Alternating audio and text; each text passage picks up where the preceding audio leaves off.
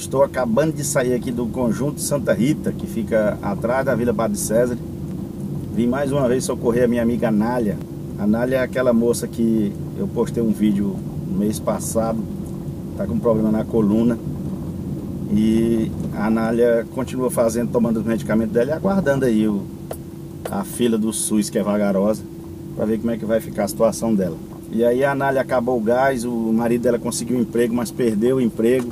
Foi dispensado porque não tinha identidade nova. E aí teve que tirar a certidão, ele é nascido no estado do Pará.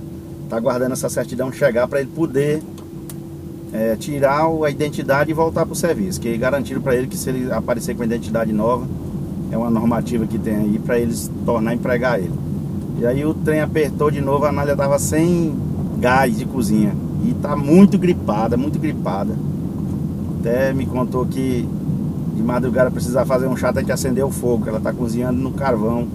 Essas imagens que vocês estão vendo aí é lá do fogão dela que ela tava me mostrando. E o gás dela foi patrocinado por um amigo nosso, tocantinopolino, o nome dele é Sebastião. Tá morando em Hortolândia, em São Paulo.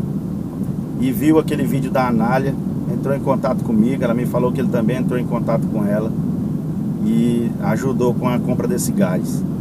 Entregamos o gás, meu amigo Manan aqui me acompanhou hoje. Eu, estava junto com um pouquinho aqui. É, me acompanhou, entregamos uma cesta básica também para um rapaz que está com a perna quebrada lá no assentamento.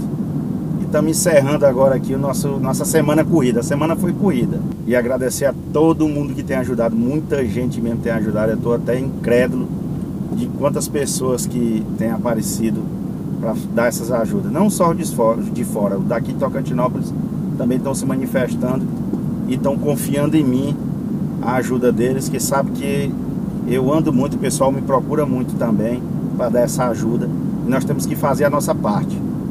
Temos que fazer a nossa parte nesse mundo que às vezes é injusto para uns, bons para outros, mas é assim mesmo.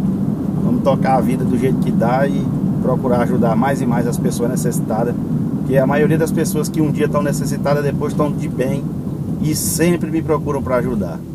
Eu mexo com isso há muitos anos e sempre digo uma frase: só ajuda quem já precisou de ajuda. E ela é certa. Então, um abraço, gente.